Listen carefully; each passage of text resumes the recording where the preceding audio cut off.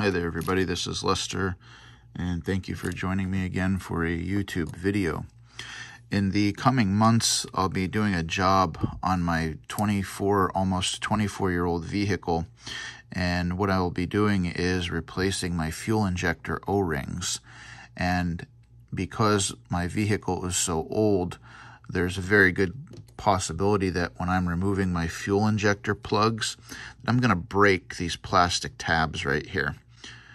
Uh, this is an example of uh, the exact connector that uh, will plug into my fuel injector on my vehicle. And I've got about eight of these on standby because I anticipate at least breaking one or two of the plastic tabs on these connectors when I'm unplugging my fuel injectors. Uh, to remove these from the injector, you have to squeeze this tab and then you pull the plug off. And these are very likely going to break. So, anticipating this job, uh, I've also thought about the fact that I am going to have to splice this connector onto the wiring coming off of my engine harness. I will have to uh, clip the old fuel injector plug at the base and then I'm going to have to strip the insulation off of the copper wire so that I can splice in this plug. And one of the reasons that I'm really dreading doing this job, or I was dreading it, is because this, before I purchased this tool, which is a superior wire stripping tool, uh, my plan was to use this tool, which um, from time to time I screw up and I, uh, when I'm in the process of removing the insulation, I usually break some of the conductors, some of the copper wire that's underneath. And with this being my fuel injection system, I definitely don't want to compromise any of the conductors going uh, to my fuel injectors. So let me give you a, a, a little rundown of how this tool works and we'll do a little demo.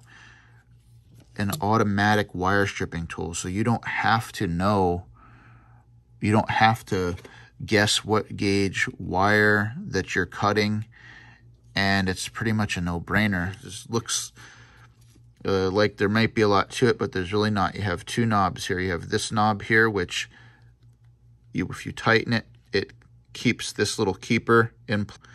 You just unloosen it and you can push this thing out and flip it down. You tighten your knob back up and you're ready to use the tool.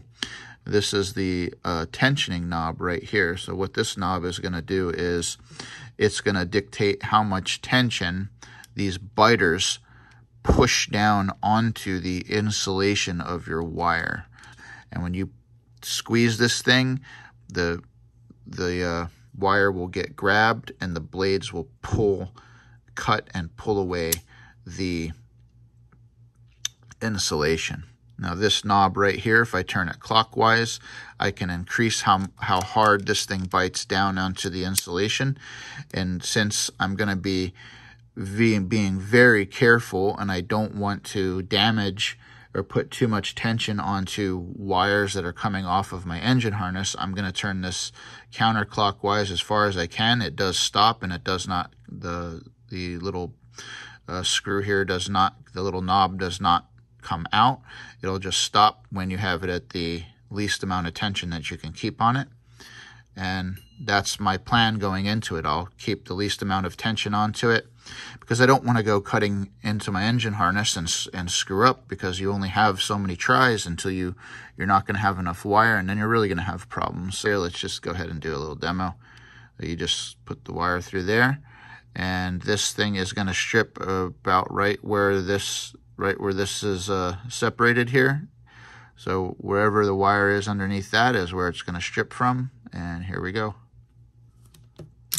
And just like that, perfectly removed insulation. And then you can just get your fingernail underneath there and you can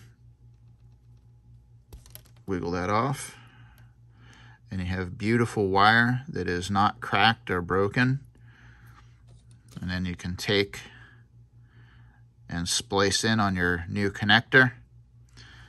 And there you go. You're not going to screw up your engine harness or whatever other whatever other project you're working on. So there it is, the Klein Tool wire stripper. It's a game changer for me. I hope you guys uh, found this video useful. And if you have any kind of electrical work coming up, it's a great tool to consider to have in your arsenal. So thank you for checking out the video. Please give it a like. Please subscribe. Helps the channel. And I appreciate it. Thanks for watching this, and I'll see you guys in that next video. Bye-bye now.